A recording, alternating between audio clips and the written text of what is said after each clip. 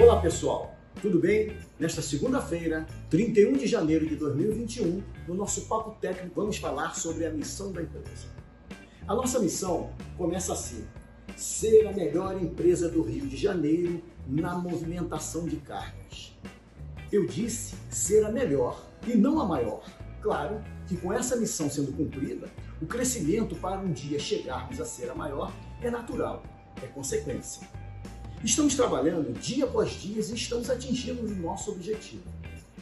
Continuando com a nossa missão, gerando satisfação de seus clientes. Veja, esta semana recebemos um feedback de um cliente tradicional nosso com o seguinte teor. Vou ler para vocês.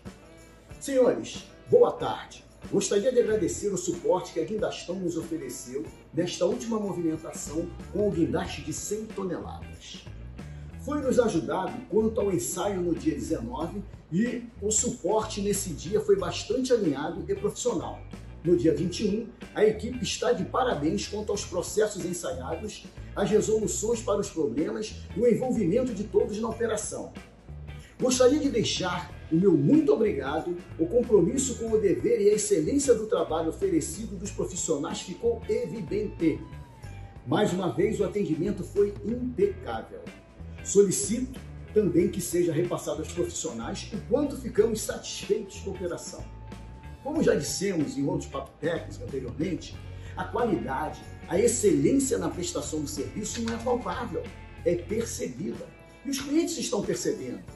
E aí, mais um objetivo da nossa missão, gerar satisfação aos clientes, sendo atingido. Outro ponto da nossa missão é oportunidade de crescimento para os seus colaboradores. Ora, o bem mais precioso da nossa empresa são vocês, nossos colaboradores, que estão comprometidos com a missão da empresa e o seu crescimento pessoal é fruto de absorver o aprendizado e colocar em prática os ensinamentos no dia a dia. Fazer todo mundo faz, mas fazer com segurança e excelência só os melhores fazem. Ótimo dia, ótima semana com excelência e segurança no atendimento aos serviços. Gui movimentando conquistas.